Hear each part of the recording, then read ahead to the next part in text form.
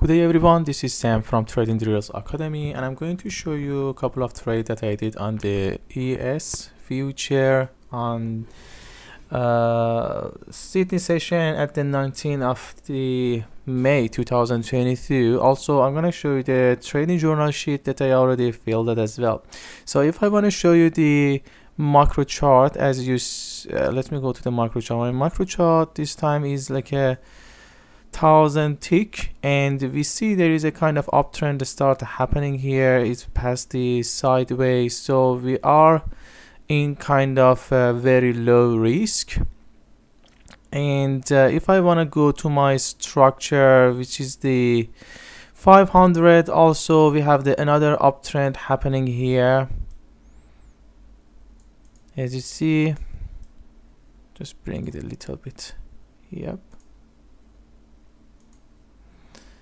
so yeah there is a uptrend happening here. As you see so I can enter in the yes no it's better. Alright so we have the pattern and the first algo which is the pattern is passed in here. So the first algo which is the pattern in pass the second algo the momentum also is perfect. As you see the momentum is good as well.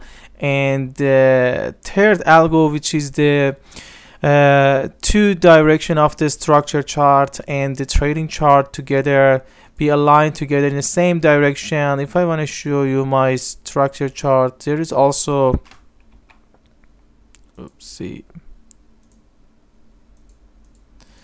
yeah in my trading chart also there is a there is a good trend happening. Yeah as you see in here. And here.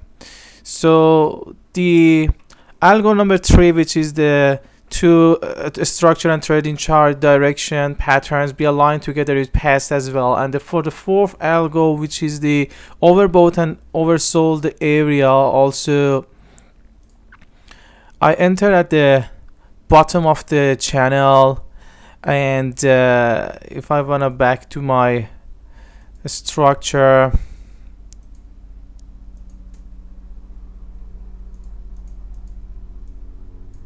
Yep.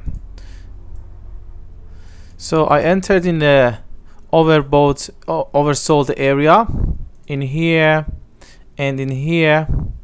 And as you see, both of my TP touched in here and in here.